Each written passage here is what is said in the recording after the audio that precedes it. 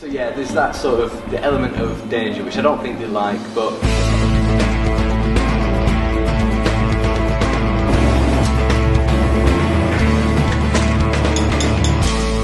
Hi, my name is Johnny Strange and I'm a Guinness World Record holder for the heaviest weight lifted with my pierced ears. I pulled an aeroplane using just the piercings in my ears. Uh, it was incredibly uncomfortable, incredibly painful. I mean, no rush to do it again uh, because it actually weighed 677.8 kilograms. Um, yeah, not for everybody.